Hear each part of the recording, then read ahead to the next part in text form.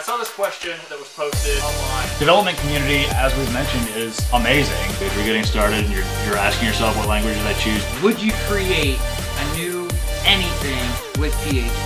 We don't really have a direction. We have an idea. I think the difference between the passionate or talented programmer and the one that just goes gets the education is the guy that goes home after the education is Right. done and continues. Hey, welcome to another episode of Tech Uncensored. My name is Paul, I'm Nick.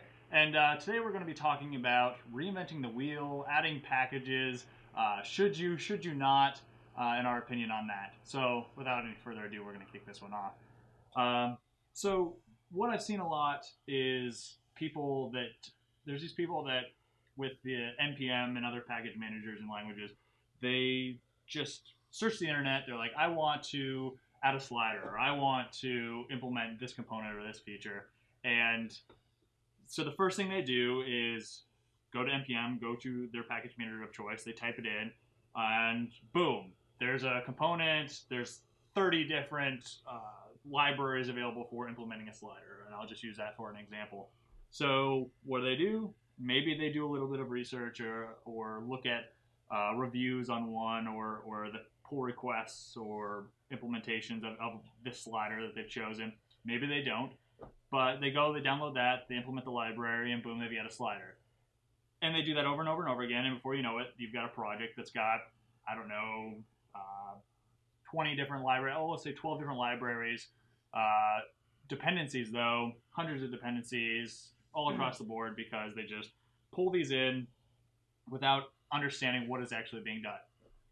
And my, I want to throw out, you know, a word of caution to folks that do that. Um, don't do that. I mean, do that, but take it with a grain of salt. So use it for what they're they're, they're what they're there for. And you know, it's nice to have all of these options, but without any understanding of what is actually going on. I mean, what did we see not that long ago where uh, very popular uh, library or, or npm module that uh, was used by hundreds of others uh, as a dependency got pulled from npm and crashed everything. So um, and it was just a, a it was left pad. Um, Yeah, all because people didn't realize what they were pulling into their own project and didn't realize what dependencies were actually needed. And the problem with left pad was it was was it one or it was just like 13, 13 lines, lines, of code yeah. that ultimately, if you knew what you were trying to accomplish, you could have just implemented it yourself and never had a problem. But because a lot of these packages, no one looks into what they rely on and what dependencies they have, they were all stuck in the air wondering why their stuff wasn't working, and they shoot right to Stack Overflow and overflow that uh, platform with a bunch of questions that Mhm. is as simple as do your homework. Right. And you know, that's not to say, you know, libraries are there for a reason. Uh, package managers are there to manage manage that.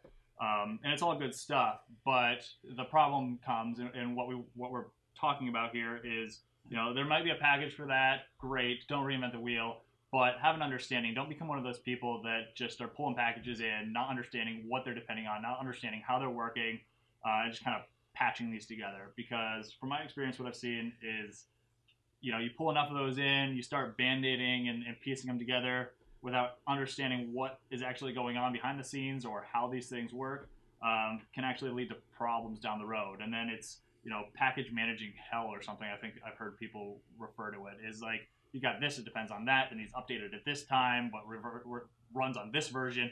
I mean, it's just dependency hell. I mean, you just get into this problem where it's like, We start reading from your terminal to try to figure out what's an unmet peer dependency, Mhm. and then you'll download that blindly just to make something work. Where And- down the road, you're not even understanding what you have. Like, yeah, and then it just good. ends up causing more problems in the in the end than you know what you tried. You tried you the whole basis was to manage this and make things easier. And before long, without having any idea what you're doing, you've created this huge mess, and that's really um, you know a, a a bad side effect in using these not really for what they were intended for, uh, in my opinion. Um, so we would just urge you that even though there's a package for that, you know that's great, but understand what you're implementing. And if you know you actually come from a background or come from having the experience to understand what is actually going on, you know, it's great for learning. Download three of those sliders, look at what is uh, common between them and what these people did to implement them and learn from them.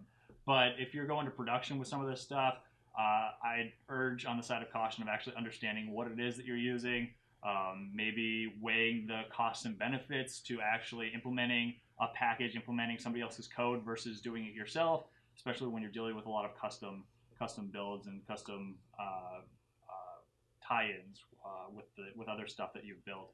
Uh, it can really be beneficial to err on the side of doing this yourself. So uh, yeah, that's kind of where we wanted to wrap that up. You know, there may be a package for that, but take it with a grain of salt because you know it can end up biting you in the ass real Yep. quick. So uh, that's about all for this episode. Uh, hope you learned a little bit. But until next time, we hit you again with the well, what are we gonna hit them with next time? The most important thing to learn in programming.